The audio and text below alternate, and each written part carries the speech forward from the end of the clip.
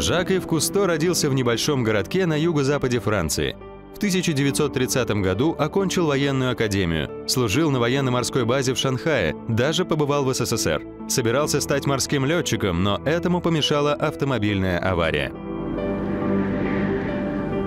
В 1943 году во Франции, оккупированной немцами, Кусто вместе с инженером Эмилем Ганьяном изобрел и испытал первый прототип акваланга, с которым в дальнейшем Кусто успешно погружался на глубину до 60 метров, без каких-либо вредных последствий.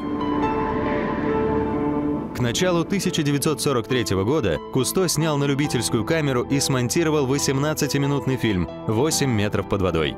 Следующий его фильм «В мире безмолвия» получил золотую пальмовую ветвь на Канском кинофестивале в 1956 году.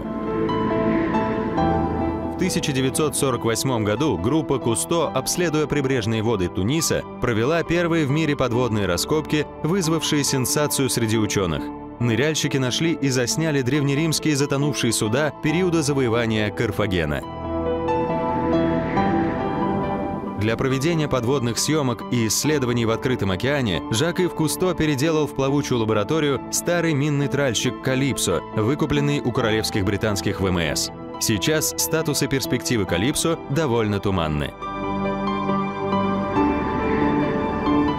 Еще с 1957 года капитан Кусто принимает участие в создании ныряющего блюдца, первой маломерной подводной лодки для научной работы в океане. Она получилась очень маневренной, вмещала двух человек и могла опускаться на глубину до 350 метров.